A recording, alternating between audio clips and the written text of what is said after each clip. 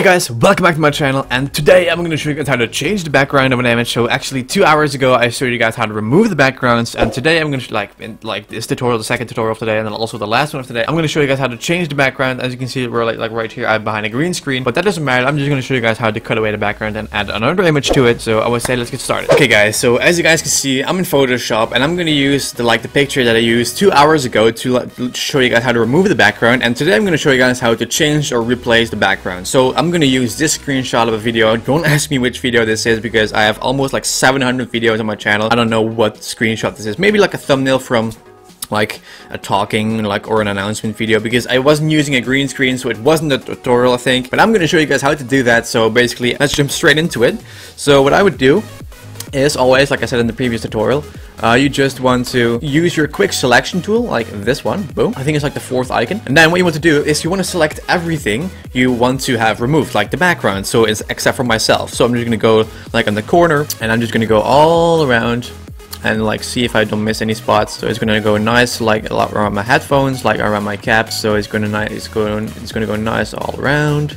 As you can see, it's going nice to my like for my TV, and it goes nice, you know, along uh, my uh, like chair, as you can see, because I want to have this still everything like selected in the screen. So I don't, I don't, I don't want to remove that. I don't think that belongs to like the background part. So I'm just gonna hold Alt to actually add in some parts, not cut away. Basically, I think I have selected myself like pretty much. So what I'm gonna press on delete. Let's see what happens.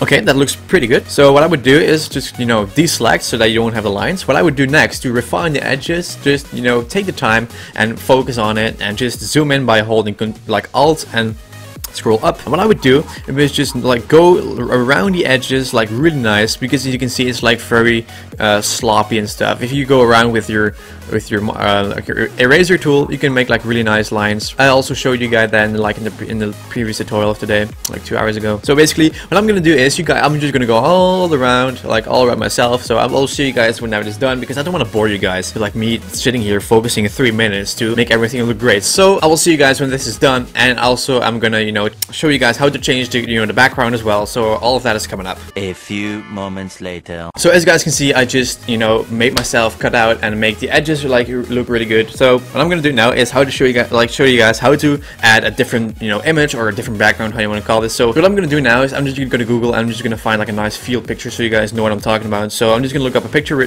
like right now and I'm just gonna drag that in. Okay guys, so I just dropped or like dragged the image in without doing any effects, like not stretching it, not like not like changing position. So this is what you will see when you just drag the file in. So what I'm gonna do is I'm gonna stretch this a little bit to it like it fits the screen. Then I'm gonna press on this check mark and you're thinking like Alex, where where is yourself like cut out? Well, the layer is underneath it. So what you want to do is you want to click on this like this layer like above me and you just want to drag that down under, under like the layer where I'm like where I am. So I'm gonna do that right now. Let's see how it looks. Boom! And there we have it. There is me without with a different background. And of course you can change like like a background like this, like this, or like this, and many other things. So that's as simple as this, guys. That's how you remove and change the background. So basically, there's nothing more to tell you guys. So that's it for this video, guys. I want to thank you guys for watching. Thank you guys for the continued support to let me do this every single day for you guys. Two videos a day. Make sure to smash the like and the subscribe button down below for more videos so you will stay updated. I'll see you guys tomorrow for two Illustrator tutorials. So I'll catch you guys tomorrow.